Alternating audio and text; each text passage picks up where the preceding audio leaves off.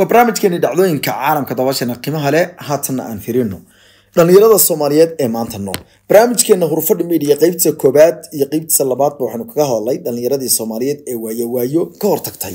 Sidoo kalena qeybo badan oo ka mid a ayaynu ku faalleenay halgankii dheeraa ee loo soo maray wadanka soomaaliyeed si loo xoreeyo iyo weliba dhibaatooyinka iyo kacdoonada la yaab tale ee wadanka rabaraabaha u soo maray.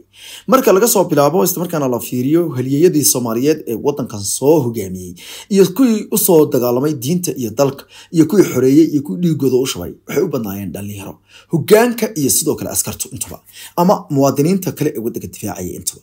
Si kale marka loo dhigo arrinta maanta taagani waa mid aada iyo aada uga weyn. Tan waxa ay u baahan tahay ummadda soomaaliyeed kacdoon dhab ah oo laga hortegayo wax loogu yeedhay dhibaatooyinka aadka u xoogan ee wadankeena maanta haysta. Maanta magaalooyinka muqdisho magaalooyinka boosaaso garowe hargeysa iyo gebi ahaanba magaalooyinka kale ee lagu yaqaanay inay dhaqaale fiican yihiin wadanka kismaayo laascaanood gaalkacayo burco berbere iyo magaalooyinka kale baydhabo boorame inta waxaa ka taagan dhaqaale darro aada iyo aada u weyn. Dhaqaale darradu way sii kala daran waa run inay jirto dhaqaale darro guud oo caalamka oo dhana si yar marka loo eego inuu sicirka uu bararay laakiinse dadka badankooda lacagtu kuma wada yaraan. Dhibaatooyinka laga hadlaya hadeerta waxaa weeye sicir bararka waxaa sii dheer lacag yaraan. Dhaqaalihii circulka ha ee dalka ku dhex wareegayay ayaa baaba'ay. Lacagtii doolarka ahayd waxay u muuqataa in ay meesha ka baxday gebi ahaanba. Waayo lacagihii doolarka ha ee dalka waxay noqotay inta la dhaco islamarkaana dalka laga qaado in haddana laga sii dhoofiyo. Lacagaha ugu badan ee dalka ka baxa waxa weye lacagta qaadka ama jaadka waxaa kaloo ah lacagta dhulka la kala siisto. Intaba waxay gacanta ugu jirtaa madaxweynaha dowladda federaalk ee soomaaliya iyo xubno qoyskiisa ka tirsan iyo shakhsiyaad kale oo isaga la hilbaduubta.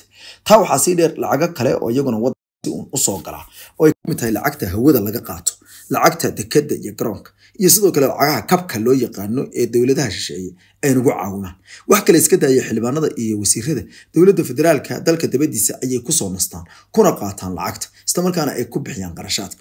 Madaxweynaha dowladda federaalk soomaaliya ayaa ugu horreeya qofka ugu weyn ee lacagta ugu badan dabadda ku maalgashaday. Waxaana la aaminsan yahay in lacagihiisa uu wada marsaday ganacsato ku kala sugan dalalka kenya iyo tanzania halka lacago kalena loo duway xagga dalka iskutaga imaaraadka carabta. Intaasoo arrimood waa dhowrka waxyaalood ee waaweyn ee maanta jira. Waana iska caddahay in gebi ahaanba dhallinyarada soomaaliyeed kuwa suququlka ugu badan ee dhinaca dhaqaale dareemaya yihiin laakiinse ma tahay dhallinyarada soomaaliyeed markii ay kici lahaayeen? Waxyaalaha ugu waaweyn ee dhallinyarada soomaaliyeed lagu sameeyey ma aha qaraxyada loo geysanayo ee iyagoo wadarwadar hadlaynayo laakiinse qaraxyada markii horreysay waxaa loo sameeyey fursad loogula sameeyo. Dhowrka labadaa sannadood ee weliba ay markaasi iyo dhowrka bilood ee madaxweyne xasan sheekh maxamuud uu joogo soomaaliya. Xukunkeeda markiisan dambe bale inaynu eegno inta dhibaato ee dhallinyarada soomaaliyeed gaadhay ciidankii xoogga dalka soomaaliyeed ee lagu wareejiyey waxa uu gaadhayay soddon kun oo askari. Sida ay caddeeyeen faylasha lagu wareejiyey maalintaasi soddonka kun ee askari waxaa la odhan karaa dhammaantood waxay ahaayeen dhalinyaro ama boqolkiiba sagaashan iyo sideed dhalinyaro ayay ahaayeen. Xooggii dalka iyo awooddii dalka. Tarantii dalka ee biritoole carruurta kale iyo qoysaska iyo faamilada soo saari lahayd geesiyaashii wadanka difaaci lahaa iyo dadkii wadanka ee lagu taxaluqi lahaa. Islamarkaana muhiimiyadda iyo prioritiga la sii lahaa.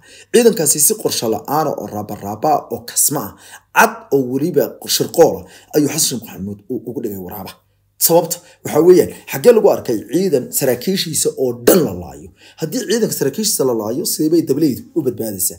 Dhammaan ogoobay saraakiisha la laayay waxay ahaayeen kuwo tababaro heer saraa la soo siiyey lagu soo taxalluqay sidoo kalena lagu soo tabcay.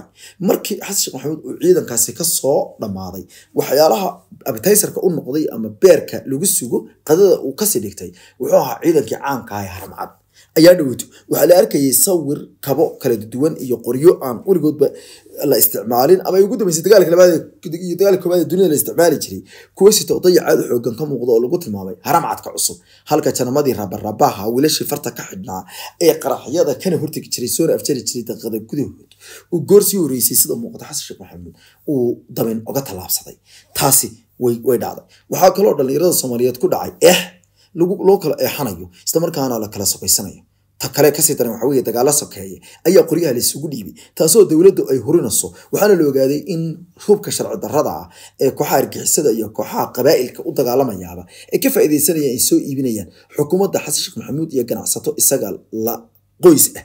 Oo markaasi ka tirsan qoyskiisa hoose iyo weliba xubno kale oo uu isaga ka idaad haysta taasoo ilaa dalka cadowga ee etoobiya inta hub laga soo gato kadibna soomaalida laysugu dhiibayo taasna waa dhacday. Dhacdooyinka kale ee layaab kale ciidanka iyo dhalinyarada soomaaliyeed loo geystay waxaa ka mid ah in hantidii guud ee wadanka la boobayo. Hantida la boobayo waxaa ku jira dhulkii waxaa ku jira goobihii waxaa ugu dameeyey goobtii kawaanka ee bakaaraha oo hadeerta loosoo dhiiladhaansaday halkaa waxaa laga koriyaa dhalinyaro soomaaliyeed. Hooyooyin markaasi agooma haysta iyo kuwo caruuro jaamacadaha u dhigtaan ayaa jooga. Waxyaalaha laga taqalusay ayay ka mid tahay si dhab ah ayaa u muuqataa in dhalinyarada soomaaliyeed loogu geysanayo dhibaato aada u xogan waxaasoo waxaa ka sii daran dowladnimadii dhalinyaradani ay ku taami lahaayeen u shaqo tegi lahaayeen caruurtooda ay ku korsa lahaayeen islamarkaana dhibaatadii iyagu ay ku soo koreen ee dowlad la'aanta ahayd ee amni la'aanta ahayd ee hasalka ahayd ay uga bixi lahaayeen ayaa muuqata in marakan ayada lafteeda lagu sii hayo oo waxa ay ka turjumaysaa markastoo dibidhac dowladda loo geysto markastoo la dhibaateeyo dowladnimada markasta oo musuqmaasuqa iyo fasahaadku uu noqdo mid caadi ah inuu sii bato dilka dhaca dowlad la'aanta iyo burburka aadka u xoogan. Intaasi waxaa sii dheer in haddaba si wadar ah dhalinyaradii ay gebi ahaanba aysan u helaynin mushaharkoodiiyo buuxa sidoo kale aysan helayn dhacdhaci aysan jirin wax kala socda. Lacagtii circulationka ahayd ee wareegeysay doolarka ahaydna waata dalka laga saaray ee haabasa waddamada dariska oo iyagu ka faa'iideysanaya dhaqaalaha soomaaliyeed ee si weyn dhacay sidoo kale qaadka ama jaadka daroogada la yidhaahdo ayaa xasan sheekh maxamuud iyo kooxdiisu ay ka ganacsanayaan. Islamarkaana ay u muuqataa inay marmar ka dambaysa ay dunida ay uga faa'iideysanayaan oo ay dunida ugu faa'iideynayaan kale ee aan soomaali ahayn. Intaasiba waa dhacdooyinka dhabta ah ee waddankeena hoos yaalla waana waxyaalaha xasan sheekh maxamuud iyo kooxdiisa waddanka ay u geysteen haddaba dhallinyaradan maanta joogta ee soomaaliyeed maxaa la gudboon. Marka u horeysa waxaa la gudboon in isbeddelka dhallinyarada ilaa uu iyaga ka yimaado waddankan inuusan bedelmi doonin.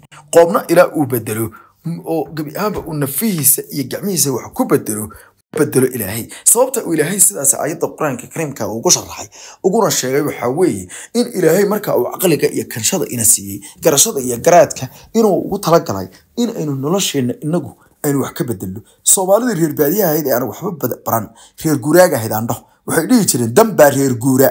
Oo macnaheedu tahay haddii meelo kugu xumaato meel kale inaad u guurto waa dantaa tan maanta wax baratay ee cilmiyada kala duwan iyo aragtiyada ilbaxnimada leh. Sidoo kalena ka fekeri kara dhacdooyinka dunida ee ku xeeran. Maxaa la gudboon? Ma inay ku jiraan? Hebel waa qabiilkayga oo waa lama taabtaan khaladka uu gala waa lama sheegaan kii sheegaana waa ma dhaafaan sidoo kalena waa qabiilba uga soo horjeedaa. Iyo sheekooyinka kale ee asaadiiru awaliinkii ay ku traabi jireen. Mise xaqiiqda dhabta ayaynu isugu nimaadna oo ah inaynu dalkeena soomaaliyeed aynu badbaansanno badbaadsanno kana gaadhno sida muuqata dhibaatooyinka rabarabaha ee kooxahani inagu soo wadaan. Sida muuqata xasan sheekh maxamuud iyo kooxdiisu waxba kamaysan tegin hadday noqoto bad iyo beri. Badda shidaalka ku jiray ayaa la aaminsan yahay in xataa lacagihii kaashka ahaa ee doolarka xaqalinka la kala siistay ee lagu ganac jabiyey weliba suuqyada. Haddana in aan dadka soomaaliyeed in loo saarin. Bankiga dhexe aan lagu soo shubin. Magaalada muqdisho aan lagu dhisin. Magaalo kale aan loo dirin. Balse ay qaybsadeen xubno qaraabo ah oo isku raran ah kuwaasoo ceedhiinka marka u horeysaba iyo faraha kula kala boodaya. Waxa soomaali soo gala si kale marka loo dhigo waxaa la joogaa waktigii dhallinyarada soomaaliyeed ee caqligooda ka shaqaysii kari lahaayeen. Qof walba bal inuu fekero isbedelku noocyo badan ayuu leeyahay. Si badan ayay wax u bedeli kartaa. Aragtida loo baahan yahay waxaa weeye ee ugu ballaarani baahida loo qabo dowladnimo soomaaliyeed oo sii socota. Markii madaxweyne xasan sheekh maxamuud dowladnimada soomaaliya lagu wareejiyey waxaa jiray gebi ahaanba rajooyin aada u waaweyn. Waxaa jiray unugyo dowli ah oo nidaam iyo institutions si baaxad leh u dhismay koray oo kobcay. Waxaa kaloo jiray dhowr waxyaalood oo yidile ah oo guul laga gaadhay dhaqaalaha waddankuna wuxuu kobcayay boqolkiiba afar ku dhowaad waxaana jiray lacag caddaana oo naqada oo dul maraysay saasna u dul heehaabaysay waddanka oo dhan. Waxaa jiray dhowr sheeko oo la yaab leh oo ka dhacay soomaaliya. Qofka bajaaslaha ah ee aad fuusho amaad raacdo maalintaasi wuxuu kuu sheegayay in ay gebi ahaanba himiladiisa iyo hankiisa uu yahay. In uu sanad gudihii kaga farxasho isla shaqadan jaranjarada labaad ee noloshana uu bilaabo. Qoysna uu samaystay. Hadeertana uu doonayo inuu xoogaa dukaana intuu meesha ka samaysto. Dabadeedna inuu horay u sii wado. Taasi waxayd himilooyinkii yaalay laakiinse maanta wiilka bajaajta wata ee soomaaliga ahi waxba ma hayo waxba ma oga. Waxba meel dhibaatooyinka ugu badan ee haystana waxaa weeye in uusan xataa tahli karaynin inuu kirada bajaajta ama baymentiga bajaajta lafteeda uu iska bixiyo. Qaybta labaad barnaamijkeena dhacdooyinka caalamka daawashada qiimaha